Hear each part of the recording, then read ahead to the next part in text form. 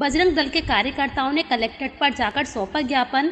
नवदुर्गा में प्रशासन से की गई मांग। मंदिर के आसपास 200 मीटर की दूरी पर सभी मीट की दुकानों को बंद करने की की गई मांग। साथ ही मंदिर से 100 मीटर की दूरी पर सभी शराब की दुकानों को बंद करने की उठाई गई मांग।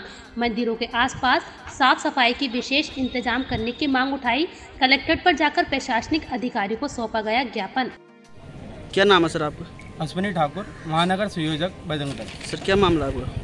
आज हमारे बजरंग दल महानगर की पूरी टीम डीएम साहब को एक ज्ञापन देने आई है जिसमें हमारी मांग है दो तारीख से नवरात्रे शुरू हो रहे हैं। ये सभी हिंदुओं की आस्था का प्रतीक है सभी लोग भक्ति करते हैं। एक पूरा हफ़्ता भक्ति में रहता है।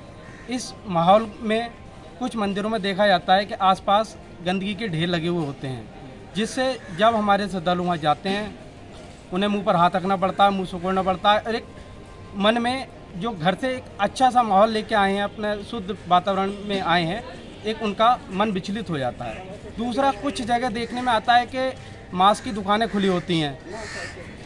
हमारा अनुरोध था कि इन जितनी भी मांस की दुकानें हैं 200 मीटर की रेंज में पूरी तरह बंद हों।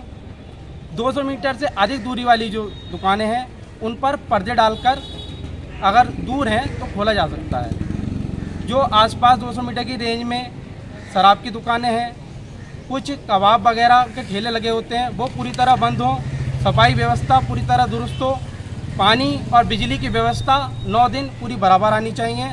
सुरक्षा की दृष्टि से प्रशासन वहाँ रहना चाहिए, कोई भी अनैतिक घटना नहीं होनी चाहिए। अगर इसके बाद भी कोई अनैतिक घटना होती है तो उसकी ज़िम्मेदारी प्रशासन की होगी। आज किसको ज्ञापन देने आए आज डीएम साहब को ज्ञापन देने आए थे। डीएम साहब उपस्थित नहीं हुए, इसलिए एडीएम साहब को ज्ञापन दिया।